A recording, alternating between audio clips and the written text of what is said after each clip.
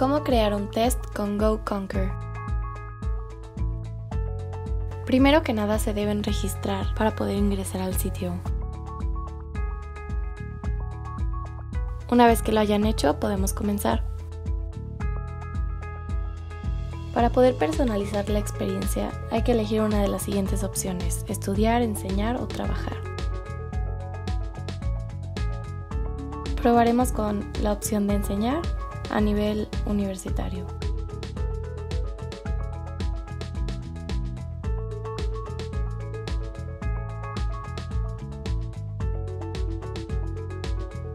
Ahora escogeremos qué asignaturas están enseñando. Se muestran diferentes opciones y nosotros podemos elegir alguna de las que ya están puestas o añadir una nueva en caso de que no aparezca.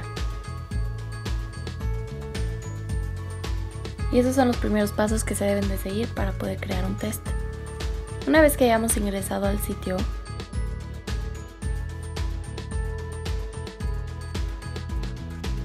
podemos ver que hay diferentes recursos, como por ejemplo tests predeterminados, cursos sugeridos de acuerdo a nuestro perfil o incluso algunas universidades similares a la nuestra. Además de tests o cuestionarios, se pueden crear diapositivas, flashcards, mapas mentales, apuntes y diagramas. Probaremos cómo se crean los tests. Como se puede ver, hay diferentes opciones para crear preguntas de opción múltiple, selección múltiple, verdadero o falso, rellenar espacio con texto, etc. Este es un texto predeterminado únicamente para crear el ejemplo. Primero se escribe la pregunta y a continuación todas las respuestas posibles. Es importante indicar cuál es la respuesta correcta y cuál es la incorrecta. Por el tipo de pregunta que elegimos solo puede haber una respuesta correcta. También se pueden eliminar las que no queramos.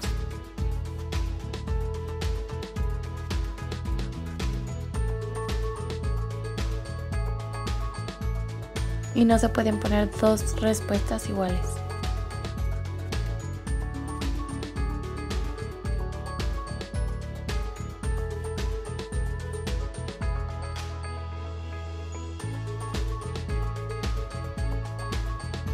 Damos clic en guardar cuando hayamos terminado para que se guarde esa pregunta.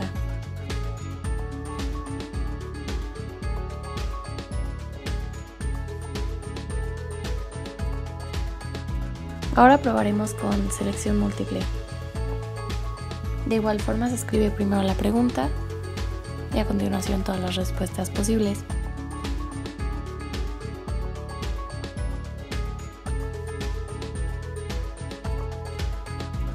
En este caso sí se podrán seleccionar más de una respuesta correcta.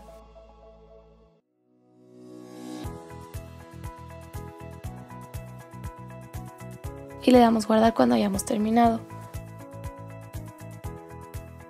Cuando tengamos listo nuestro cuestionario, damos clic en la carpeta donde dice acciones. Se despliega un menú con diferentes opciones que podemos elegir, como por ejemplo reproducir este recurso, copiarlo para duplicarlo y editar después, moverlo de tema o asignatura, compartirlo por alguna red social,